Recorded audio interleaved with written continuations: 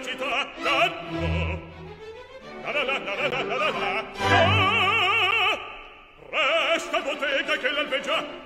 Ah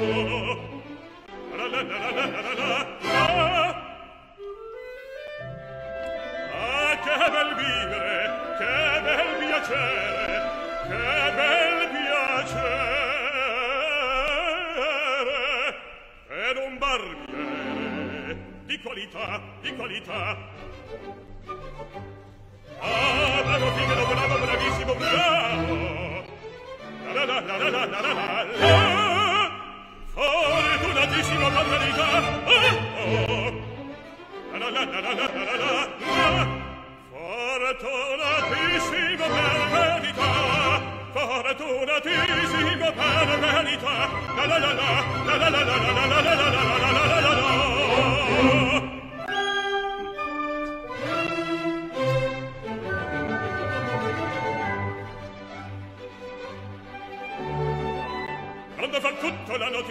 Sempre d'intorno in che non sta Miglior che un cane per un barbiere Vita più nobile non si dà La de la de la de la de la de la de la de la la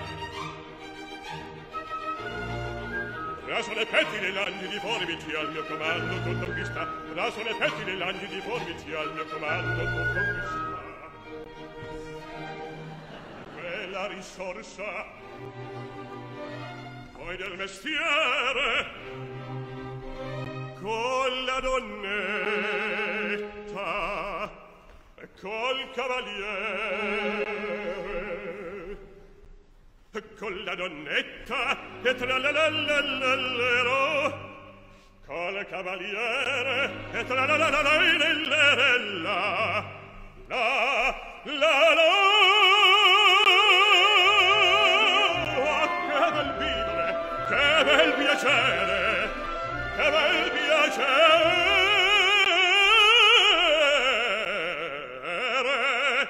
per un barbiere di qualità, di qualità. Tutti mi chiedono, tutti mi vogliono, donne e ragazzi, vecchie fanciulle, quella parrucca, ehi, presto la barba, quella sanguigna, Fatemi lieta, fatemi chiedela, fatemi gojela, fatemi gojela, fatemi gojela, ecco la barra, fatemi lieta, ecco la barra, ehi! Figaro! Figaro! Figaro, Figaro, Figaro, Figaro, Figaro, Figaro! Ahimè, ahimè, Gregorio, ahimè,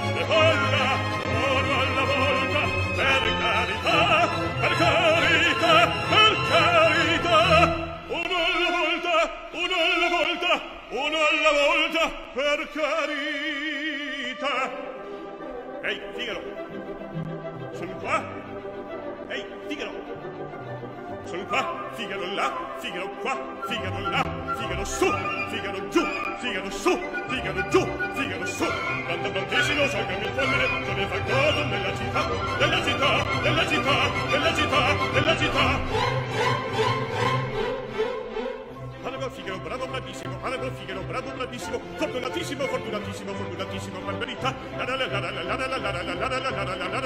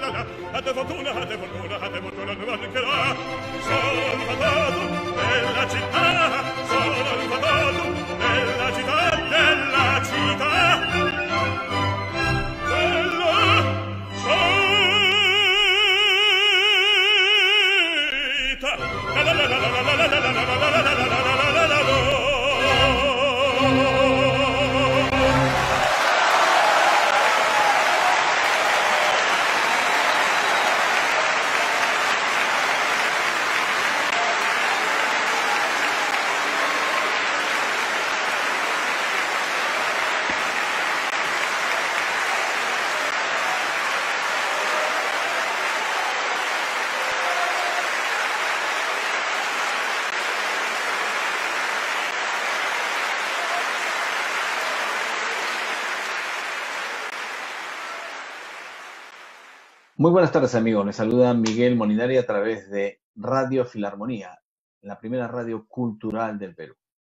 Listos ya para comenzar otro especial con lo mejor del arte lírico universal y hoy con un programa que tiene características muy particulares, un invitado muy especial eh, que nos visita eh, virtualmente desde Argentina, desde Buenos Aires, en Argentina, y que se trata nada menos que del barítono Omar Carrión, barítono argentino, que ha venido a cantar a Lima eh, en varias oportunidades, me parece. Eh, la última vez con Romanza, con Romanza, y que además eh, desarrolla una carrera muy importante interpretando los principales roles del repertorio del barítono en los teatros más importantes de América Latina y el mundo, y que proviene además de una familia de eh, rica tradición lírica. Su padre fue un gran tenor que también estuvo por Lima hace muchísimos años, en la década del 40, y que dejó algunos testimonios importantes también por acá. Omar Carrión. Omar Carrión está con nosotros para hablar, para conversar de su vida, de cómo está pasando esta cuarentena, de cuáles son sus expectativas, eh, y también para contarnos de otras aficiones, otras aficiones siempre dentro de la música, pero no necesariamente en el mundo de la ópera. Omar, bienvenido al programa, ¿cómo estás? Bienvenido a Perú. Hola, eh, bueno, una alegría comunicarme con ustedes, contigo. Eh, como bien dijiste, hace mucho que no, que no voy por Lima, hace mucho que no nos veíamos, pero contamos con, con este medio que nos ayuda y con una relación ya mucho más cercana porque la historia nos ha gustado en una forma como un laberinto que terminó realmente muy bien y hace que esta, comunicación sea mucho más afectiva y estoy muy contento de tenerla. igualmente, Omar, y es un gusto eh, conversar contigo. Comencemos hablando un poco de cómo estás pasando esta cuarentena, cómo están pasando los artistas líricos en Argentina, la cuarentena, en el mundo en realidad, ¿no? Eh, porque claro, la ópera, el teatro, eh, la danza, eh, son expresiones artísticas que requieren del contacto, que requieren no solamente el contacto de los artistas sobre el escenario, sino el contacto con el público, ¿no? Para que se genere esa magia, ¿no? Em, ¿cómo, cómo ves tú esta situación y cómo visualizas el, el, futuro inmediato, digamos, eh, en los próximos meses, al menos en, Argentina, y cómo ha afectado también, digamos, me imagino que habían contratos, proyectos de, actividades, etcétera. Bueno, realmente por el momento diríamos que los astros no se estarían alineando. Eh, los primeros que aquí se, se levantaron fueron los espectáculos públicos, eh, el, trabajador del escenario es el que se vio afectado. También, por supuesto, los, partidos de fútbol, los recitales. Es lo que tú dijiste, o sea, aquí no se, no se puede mantener la distancia social, tanto sea en la platea, en el teatro, como arriba del escenario, ¿no? Creo que mayor confluencia de gente que 1.500 eh, personas en una sala, 80 en un foso de orquesta, 100 de, de coro arriba del escenario y solistas emitiendo sonidos es realmente mm, muy peligroso y creo que va a ser de lo último que se va a reabrir. Yo lo tengo muy claro por, por pronto, ¿no? Y bueno, sí, decirte que todos los contratos que yo tenía, por supuesto, se cayeron, o sea, está completamente paralizada la situación, se está analizando cómo se puede hacer, pero es una cosa muy por ejemplo, espectáculos de esta forma, así virtuales, pero obviamente el, artista necesita, aparte de mostrarse, necesita comer.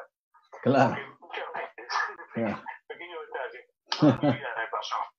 De tener que estar explicando que el artista va al supermercado y paga las expensas y hace todas esas cosas, ¿no? Porque como es una vocación, claro. nos ven pasarla tan bien, aparentemente, este, es como, no, este tipo viven del aire, viven de la música. Y, no es así. Quiero avisar que no es así. Claro, Incluso, los gobiernos que apoyan en este momento, el gobierno argentino está apoyando al Estado a muchas situaciones porque al haber una cuarentena tan dura como, como, como hay en Argentina, este, hay mucha gente que está pasando momentos económicos muy malos, ¿no? Pero siempre el teatro no se lo nombra. Este, es así. No me preguntes por qué, pero es históricamente así, ¿no? Yo me acuerdo de una vuelta que se hizo un paro en el Teatro Colón y mm, creo que el coro había decidido parar o no sé qué, qué, cuerpo porque no se le estaba pagando en tipo y forma hace mucho tiempo. Y cuando salían a la calle le decían que ellos tenían la obligación de actuar igual, o sea, aunque no les pagaran la gente, ¿no? Hay, un, hay un concepto un poco equivocado en ese aspecto. Claro, sí, sí. Sí, ah, incluso hay una frase hay que, por amor al arte, dicen, ¿no? hay que trabajar por amor al arte, como si, eso no, no fuese un trabajo, ¿no? Es un trabajo. yo, yo, siempre cuento una historia, eh, que puede venir cuento. Cuando yo tenía 19 años trabajaba en una empresa y era, trabajaba con un tesorero, empresa cajero, de una empresa que vendía autos. Yo estaba estudiando canto y un día mi jefe, era un tipo muy macanudo, ¿eh? me dice, Dice, ¿por qué no te dedicas a romper, me dijo, con, con el canto y no estudias una carrera como la gente? Vas a la facultad y haces lo que se debe hacer. Y yo le dije, mire, en la vida hay que hacer lo uno siente, no lo que le dicen los demás. Me miró, y ahí quedó la conversación. Con el tiempo, bueno, esa empresa se fundió, yo eh, entré al Instituto del Colón, este, empecé a cantar un poco, y viene Pavarotti y hace el concurso Pavarotti. Y uno de los que elige para ir a Filadelfia, a, para la final, a, para la semifinal, fue a mí. Y salió en el diario Clarín, habían pasado 10 años que lo había dejado de esa empresa, ¿no? Eh, la foto mía cantando el Cavatina de Fígaro y decía, uno de los elegidos por Pavarotti, ¿no? Había pasado 10 años de esa anécdota que te conté con mi claro, claro. Y me sonó el teléfono. Yo no sabía más nada de él hace mucho tiempo. Y me dijo, Marca Carrión, sí, dice, habla Dance, tu jefe de Rafael Pérez Rondán. ¡Oh, qué alegría! Dice, te acabo de ver en el, en el diario Clarín que te eligió Pavarotti. Te quiero felicitar doblemente, me Primero porque te eligió Pavarotti. Y aparte porque hace 10 años me diste una lección muy grande, siendo un chico muy joven, en la vida hay que hacer lo que uno siente y no lo que le dicen los demás. Eh, muy bonita anécdota, es verdad, es muy cierto. ¿no? Sí,